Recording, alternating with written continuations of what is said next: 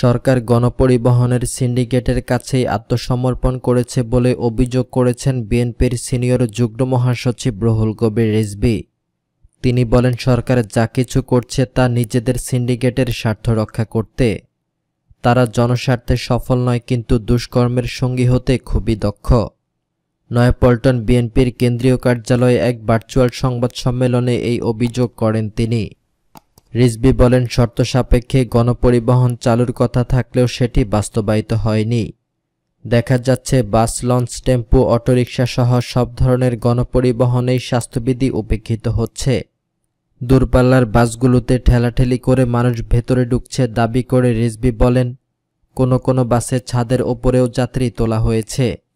লঞ্চে সামাজিক দূরত্ব বজায় থাকা, দূরে থাক, সেখানে মানুষের উপচে পড়া ভিড়। আসলে সরকার সিন্ডিকেটের কাছেই আত্মসমর্পণ করেছে।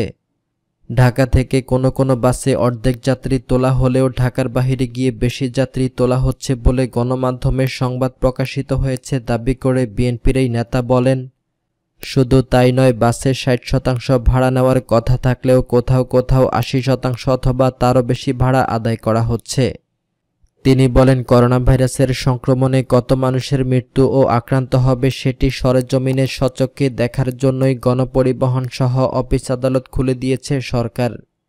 একটি সরকার ম্যান্ডেটবিহীন হলেই কেবল এই ধরনের আত্মঘাতী সিদ্ধান্ত নিতে পারে। এগুলো সরকারের সীমাহীন ব্যর্থতার নিদর্শন।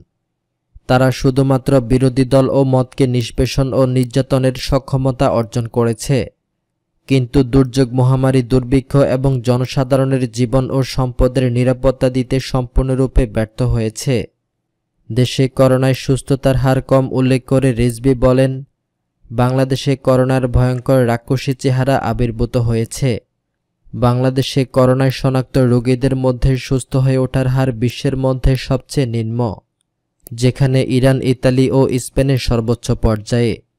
এর মধ্যে জার্মানিতে সুস্থ হয়ে ওঠার হার নব্বই শতাংশ এবং ভারত ও পাকিস্তানে বাংলাদেশের দ্বিগুণ। অথচ বাংলাদেশে সুস্থ হয়ে ওঠার হার সর্বনিম্ন। সেটি বিবেচনায় না নিয়ে সবকিছু খুলে দেয়া হয়েছে কার স্বার্থে? বাংলাদেশকে কি সরকার গোরস্থান বানাতে চায়? আসলে সরকার যা কিছু করেছে তা নিজেদের সিন্ডিকেটের স্বার্থ রক্ষা করতে করেছে। কে কোথায় ফেসবুকে কি পোস্ট করেছে সেটি হরদম মনিটরিং করছেন সরকারের গোয়েন্দারা। পোস্টগুলোতে সরকার বিরোধী কোনো বক্তব্য বা মন্তব্য থাকলেই ফেসবুক ব্যবহারকারীদেরকে গুম, নির্যাতন, ডিজিটাল নিরাপত্তা আইনে মামলা, গ্রেপ্তার সহ নানা নির্যাতনের দুঃসহ যন্ত্রণা ভোগ করতে হয়।